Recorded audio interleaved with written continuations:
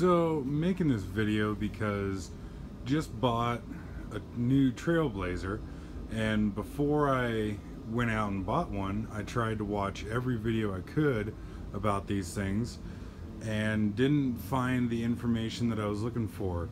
Um, either they were, you know, corporate Miller videos or Shill videos, or they just didn't talk about the things that I was curious about. Um, so here's my machine.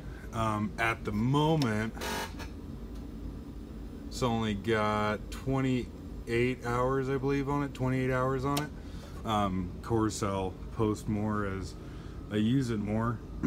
but um, so obviously, this is the one with the battery charge option. This is actually the first one I've ever seen personally that has that option.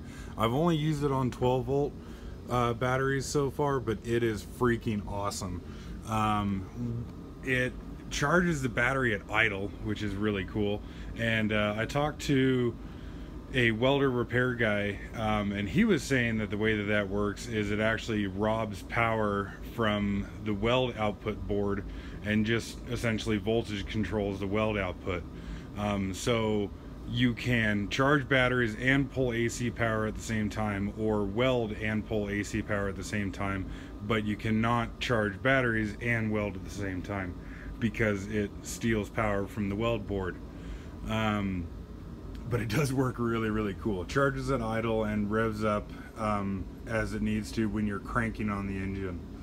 Um, this one has the Excel power uh, you can get power at idle. Um, but it is only I believe 2400 watts. And uh, I was hoping that I could run a little uh, 110 volt air compressor off of it. Um, but it does not have any surge watts at all. Like 2400 is all it's got. That's it. That's all. It does not have any extra for inrush current of a electric motor. Um, the normal 110 volt outlet runs to full RPM as soon as you put a load on it and that will start a little air compressor just fine. Um, I was around the older style of these in the past and they had a little um, fuel pump up on top of the valve cover um, that ran off an impulse line and uh, just wasn't particularly a fan of that. I um, some of the Bobcats and whatnot, I knew you could get a electric fuel pump, but I was really happy when I got mine here to see how simple this fuel system is. So we have uh, draw straw from the tank right here, comes up in a little filter, goes into a little pulsar electric pump, out of that into the injection pump, if you will, and feeds the EFI system. And what's really interesting, I find, is that this pulsar pump runs on demand whenever the injection pump needs it. Um, so when you turn the ignition on here, the pulsar pump does not automatically run. It only runs when the injection pump wants it, um, which I thought was pretty cool. See if I can get back in here. They ship with really a bullshit um, U-bolt clamp for the exhaust. I put a little constant torque clamp on there because I think they're better. Those U-bolt clamps just kind of crush the pipe and then it's ever, you know, pain in the ass if you ever got to take it off again. Um, suppose one thing that I was curious about too when I was looking into these things is the air filter setup.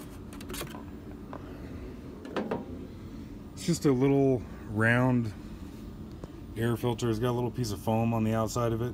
It comes pre-oiled a little bit, but I did actually put uh, some proper air filter oil on it because I do sometimes run in horrendously dusty conditions.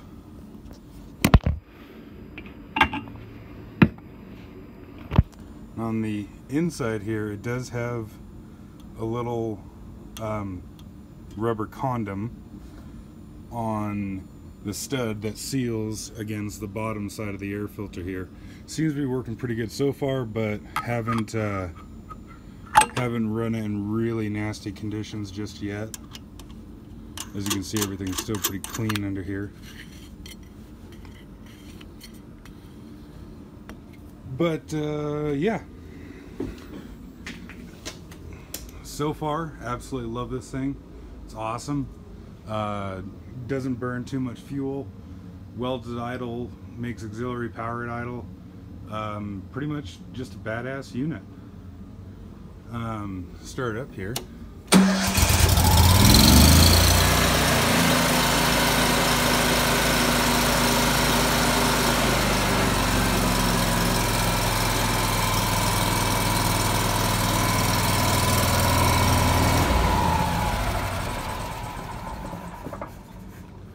I have not done any wire welding off it yet.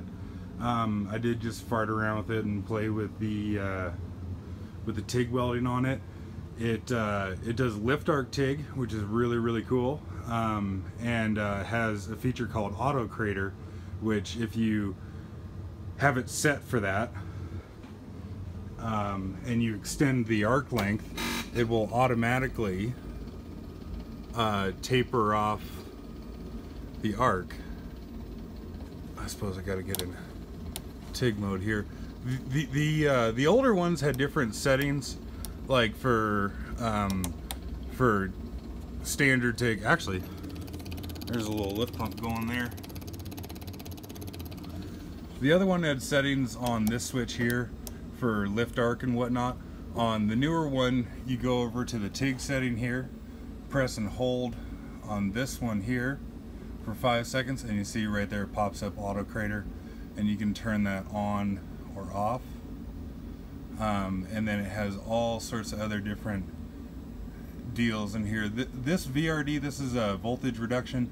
It reduces the open circuit voltage. Um, you reset your oil through this guy here. On the older machines you would just click this back and forth a couple times.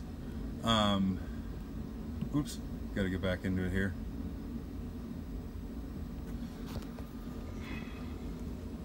Um, so you can access hour meter with the machine running. You can do all this with the machine running. Um, oil hours, I did change the oil recently. Um, and this is kind of interesting. You can set your oil change interval. Why the hell it goes up to a thousand, I'm not sure. But you can set your oil change interval down to 50 and I believe in yeah 50 hour increments. Um, I've just got mine set to 100. Um, but yeah, so Auto Crater is now accessed through that. And if we go, we'll just let it time out to our main menu. When we're on the TIG function, if we just click it one time real quick, oh, maybe it has to be running. Anyways, if you just click it real quick, then you can set the auto stop um, sensitivity. Um, which I haven't farted around with that just yet. But uh, still a pretty new machine to me. Still got to mess around with it and see um, how everything works and whatnot. But uh, really excited to have it, and I'll be posting more videos um, about this thing. Bye.